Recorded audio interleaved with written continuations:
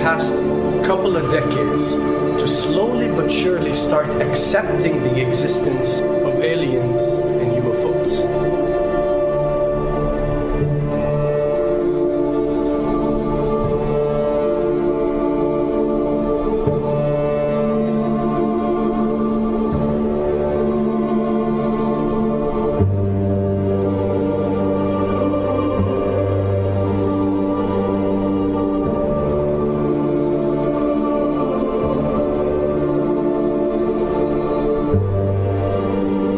I can tell you right now that 99% of every UFO sighting that has ever taken place has actually not been an unidentified flying object. Because this has always been military technologies.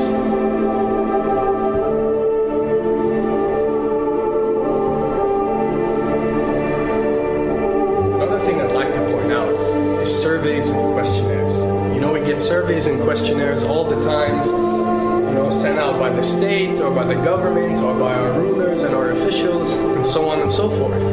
Do you really think that these ruling powers care about what you think?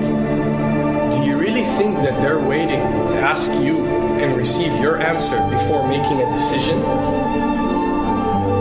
What happens with these questionnaires is that they are released. For example, what country do you think the US should attack next?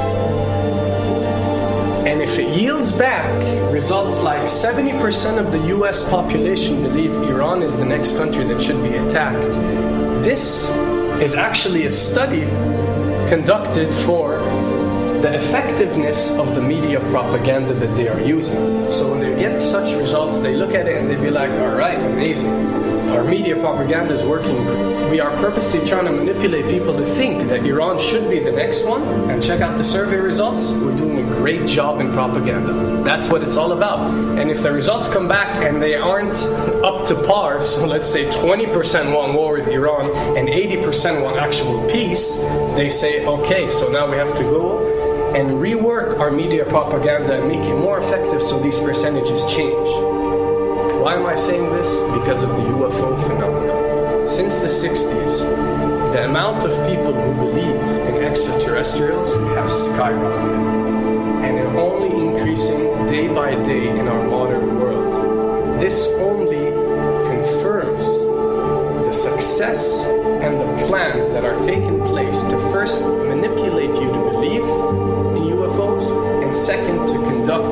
UFO attack that is going to force the whole world to unite to fight off this enemy and accept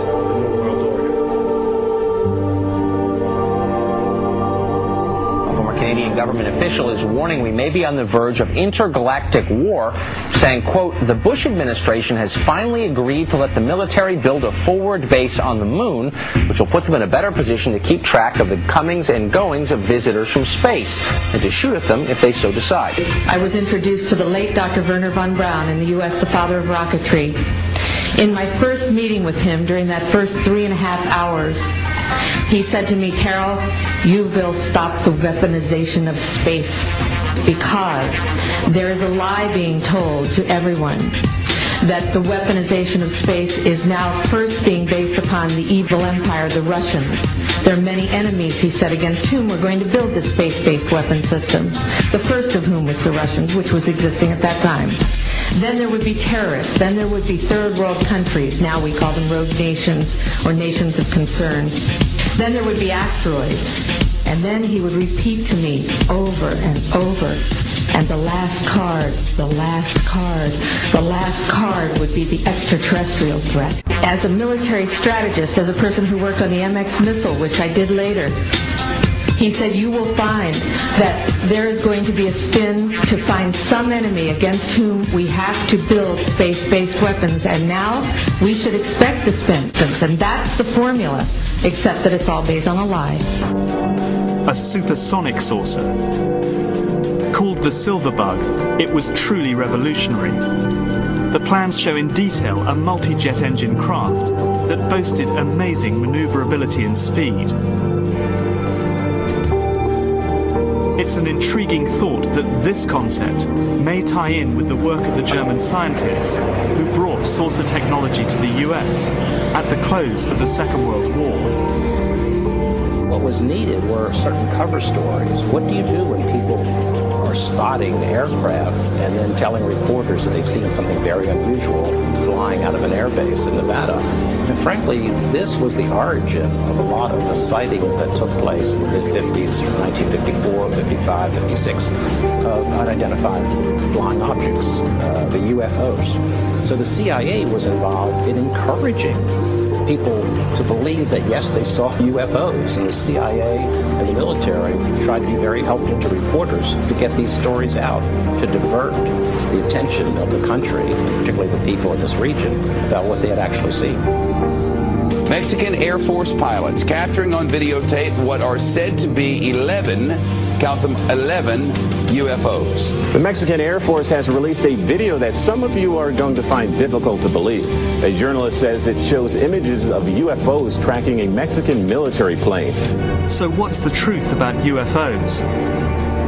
The story of successive attempts to develop radically new forms of flight, conducted under the strictest secrecy, is inextricably bound up with our relationship with UFOs over the last 60 years.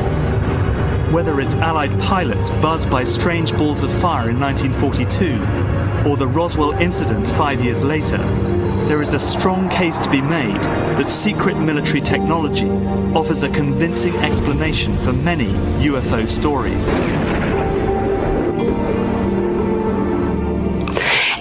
The government has secrets that can, they can keep from us, they can manipulate us by those secrets. In essence, they still remain 25 years at least ahead of us in technology, information, and knowledge and secrets, and they are using them against us. I heard over the years many times over that the plan usher in the New World Order would be to make all the people in this country and around the world feel totally helpless to prevent the New World Order from occurring, this world dominance plan by saying that we had been invaded by aliens so that we would say, oh, please, UN,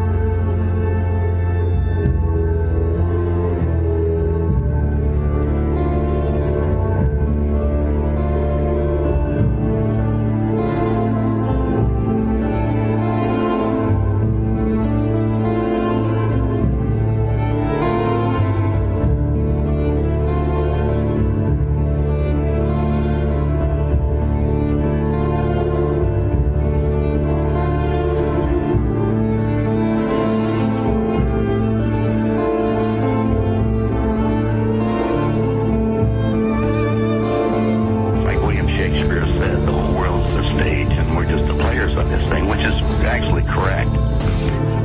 Perhaps we need some outside universal threat to make us recognize this common bound. I occasionally think how quickly our differences worldwide would vanish if we were facing an alien threat from outside this world.